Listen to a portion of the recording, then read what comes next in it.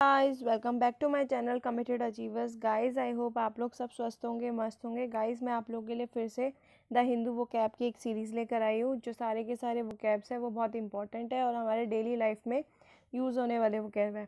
तो चलिए स्टार्ट करते हैं आज का सेशन पहला मेरा वर्ड है, पहला मेरा वो कैब वर्ड है, वो है प्रीमम नॉन नौसरे तो प्रीमम नॉन नौसरे का मतलब क्या है? एक फ्रेजल वर्ब है, जिसका मतलब होता है first do not harm first do not harm basically ये एक ही, एक ये प्रिंसिपल होता है जो बायोथिकल के स्टूडेंट्स होते हैं, उनको सिखाया जाता है उनकी ट्रेनिंग के दौरान कि आपको क्या करना है, किसी को हार्म नहीं करना है। We must never forget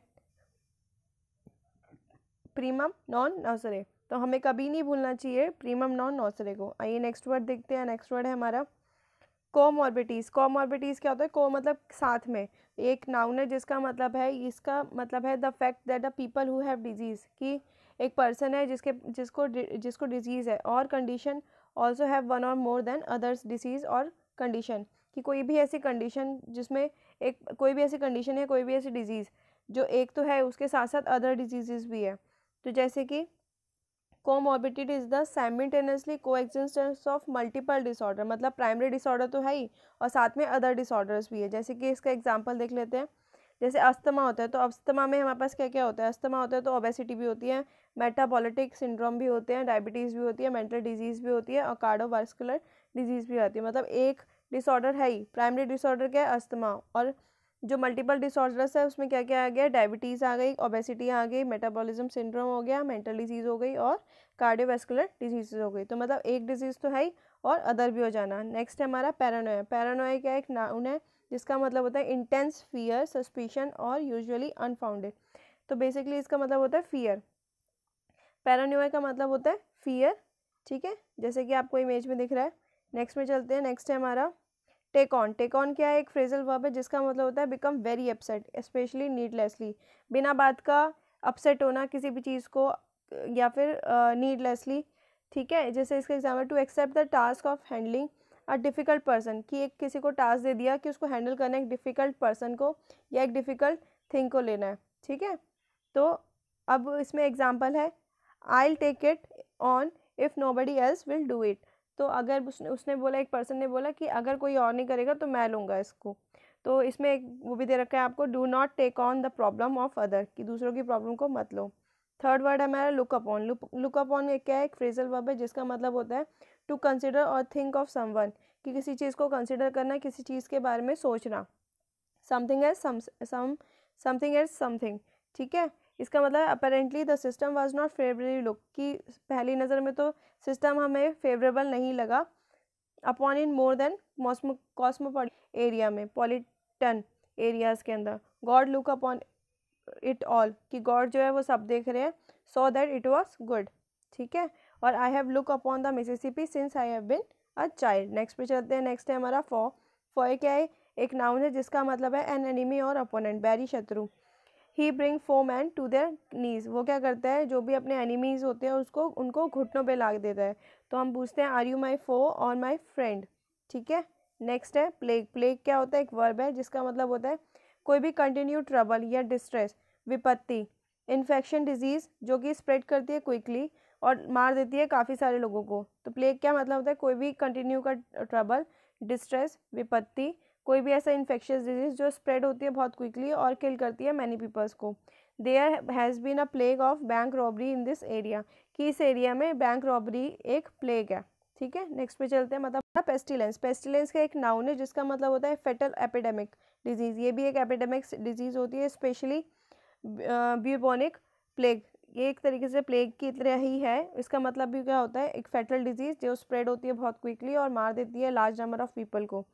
The pestilence was fearfully severe तो जो पेस्टिलेंस है वो फियरफुल है और सीवियर है। मतलब एक मेजर है। प्रॉब्लम है। नेक्स्ट है, इसका देख देख लेते हैं डेफिनेशन डेफिनेशन है पहले पेस्टिलेंस पेस्टिलेंस क्या है? नाउन है। Fatal epidemic disease and evil influence और एजेंट इसका सिनोनिम है कॉन्टीजियस कॉन्टीजियस का भी मतलब क्या होता है? फैलना। सैंपल इसका सेंटेंस है dragon cause great pestilence in many great Maldivian story जो मालदीवियन स्टोरी थी, उसमें ड्रैगन क्या थे? ग्रेट पेस्टिलेंस थे। नेक्स्ट है गॉडेड गॉडेड का मतलब क्या होता है? वर्ब है। इसका भी मतलब इसका मतलब क्या होता है? To cause someone to do something by being annoying कि हम किसी को परेशान कर रहे हैं, लगातार परेशान कर रहे हैं, ताकि हम उसको प्रोवोक कर सके कोई चीज़ करने के लिए, ठीक है? हम हम उसको क्या कर रहे हैं प्रोवो हमें उसको प्रेरित कर रहे हैं, गुस्सा दिला रहे हैं और उसको प्रोवोक कर रहे हैं। तो इसका मतलब cause somebody to do something by making him or her angry कि हम किसी को गुस्सा दिलाने के लिए, गुस्सा दिला के प्रोवोक कर रहे हैं। नेक्स्ट इस जैसे इसके एग्ज़ाम्पल है we need to be provoke हमें प्रोवोक होने की ज़रूरत है goaded like a oxen oxen की तरह। जैसे ऑक्सन को रेड कपड़ा दिखा के उसको प्रोवोक किया जाता है ना, जलीकट्टू के जो भी वो होता है फेस्टिवल होता है तो वैसे ही।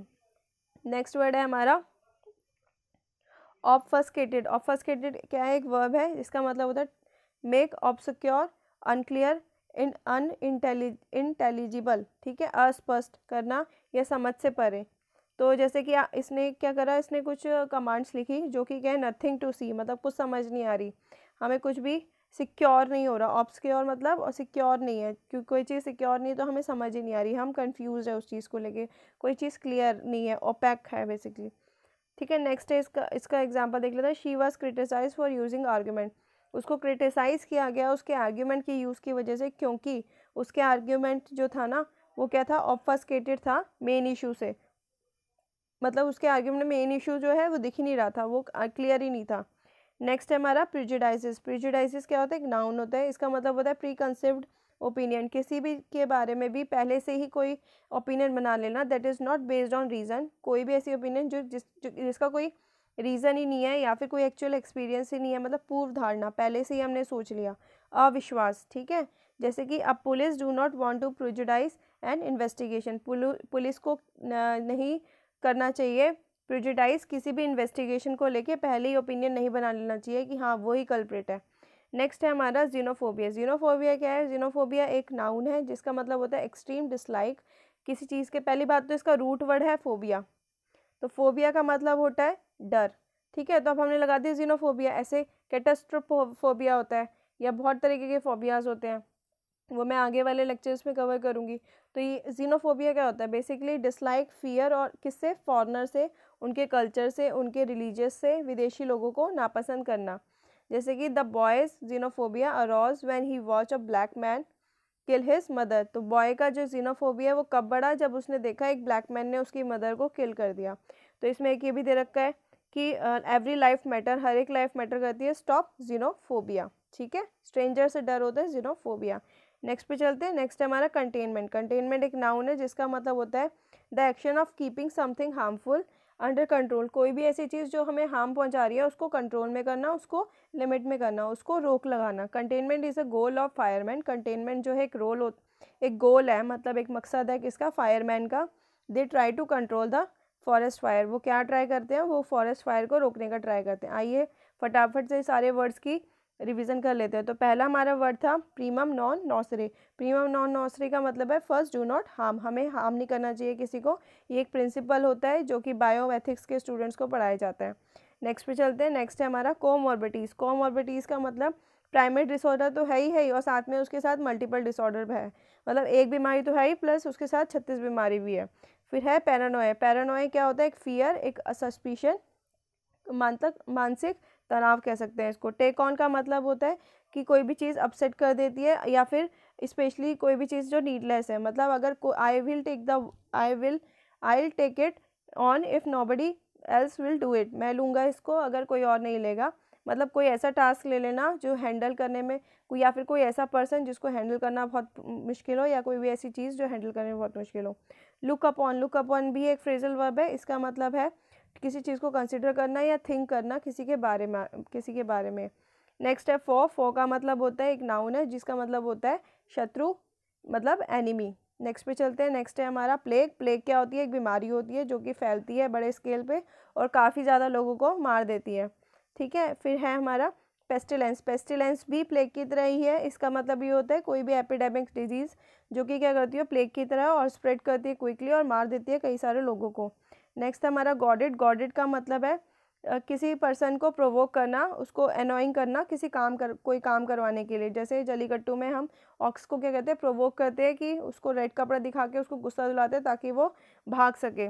नेक्स्ट है हमारा ऑफस्केटेड ऑफस्केटेड मतलब कोई भी ऐसी चीज़ जो फ़र्स्ट क्रिएट कर रही है। फ़र्स्ट मतलब कन्फ्यूज़न कन्फ्यूज़न क्रिएट कर रही है क्लैरिटी नहीं है। कन फ्यूजन इसको आप ऐसे सकते हैं F U S first first मतलब कन्फ्यूज़न क्रिएट कर रही है। कोई भी चीज़ जो है क्लियर नहीं है अनइंटेलिजिबल है। नेक्स्ट पे चलते हैं नेक्स्ट हमारा प्रिजुडाइज प्रिजुडाइज मतलब प्रिजुडाइज मतलब चाहे कुछ भी कह लो प्रीजुडाइज जो भी कह रहा है, उसको नहीं मानना, उसको प्रिजुडाइज कर देना है। पहले से ही अपनी जो ओपिनियन है, उसको फिक्स करना है। पहले ही पूर्व धारणा बना लेनी है कि हाँ ये बंदा ऐसा है, ये बंदा ऐसा है। ठीक है नेक्स्ट पे चलते हैं नेक्स्ट हमारा जीनोफोबिया फोबिया का मतलब होता है डर। और जीनोफोबिया का मतलब होता है जो फॉरनर से डर होता है। नेक्स्ट पे चलते हैं नेक्स्ट हमारा कंटेनमेंट कंटेनमेंट का मतलब कोई भी ऐसी हार्मफुल चीज़ जिसको हमने क्या करना है कंट्रोल करना है। मतलब कंटेनमेंट का मतलब एक डब्बा है, डब्बे के अंदर हमें उसको बंद कर देना है, ठीक है? उसको इसके डब्बे के अंदर डाल देना है। उसको एक कंटेनर के अंदर हमें बंद कर देना है।